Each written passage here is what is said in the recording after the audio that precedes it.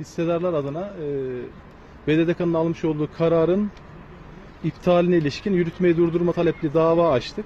Bu işgalin sona erdirilmesi lazım. Çünkü e, bankanın ortaklarının kimler olduğu, ülkede ne tür faaliyette bulundukları, ticari olarak, olarak ülke ekonomisine ne katkı sağladıkları ortada. Bu manada ortakların yapısının e, şeffaf olmadığı, ortaklık yapısının düzgün olmadığına ilişkin BDDK'nın almış olduğu kararın hiçbir e, somut ve makul gerekçesi yok.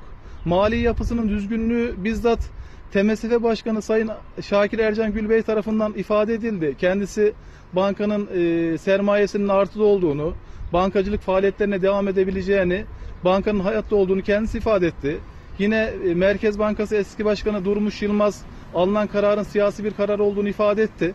Bu manada e, bankanın mali yapısıyla alakalı bizzat e, TMSF tarafından atanmış yönetim kurulu da e, bu e, banka yönetimine vaziyet etmeye başladıktan sonra e, kar açıkladı ve bir sürü siyasi linç kampanyalarına rağmen bir buçuk yıldır bu banka ayakta durabiliyorsa bu manada da bankacılık faaliyetlerinde bir problem olmadığı her şekilde görülebilir.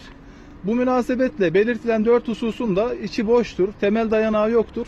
Bunun e, iptaliyle alakalı bugün BDDK aleyhine işlemin iptali ni talep ettik. Ayrıca ayrıca yürütmeyi durdurmayı da talep ettik.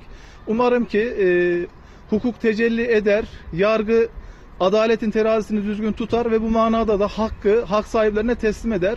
E, bankamızda e, yaklaşık bir buçuk yıldır olağanüstü bir dönem yaşatılıyor. Son e, 4-5 aydır da banka tabiri caizse emaneten götürülüyor. Bu emanetin e, gerçek sahiplerine teslim edilmesi zamanı gelmiştir ve bunun da en kısa zamanda tecelli etmesi en büyük temennimizdir. Türkiye inşallah 7 Haziran'dan sonra normalleşme, normalleşme sürecine girdiğini düşünüyoruz.